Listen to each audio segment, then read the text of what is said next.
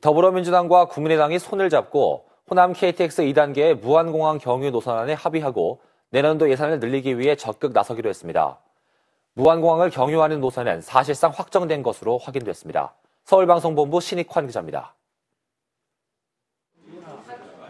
더불어민주당과 국민의당이 무안공항을 거쳐가게 하는 호남 KTX 2단계 노선안에 합의했습니다.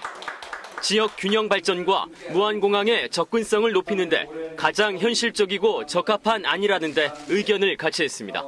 무안국제공항을 국토 서남권 허브공항으로 육성하여 국가 경쟁력 향상에 일조할 수 있을 것이라 생각됩니다.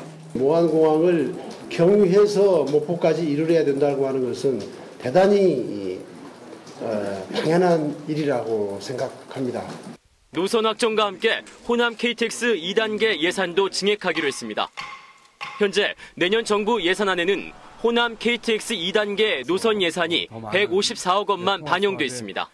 필요한 예산도 함께 증액을 해야 된다고 강력히 요청을 합니다. 국회에서 예산을 충분히 담을 수 있도록 최선의 노력을 다하겠습니다.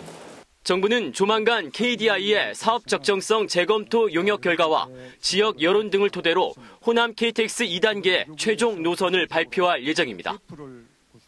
사실상 무안공항 경유가 확정된 것으로 알려지고 있는 가운데 민주당과 국민의당이 협치의 정신을 제대로 살렸다는 평가가 나옵니다. KBC 서울방송본부 신익환입니다.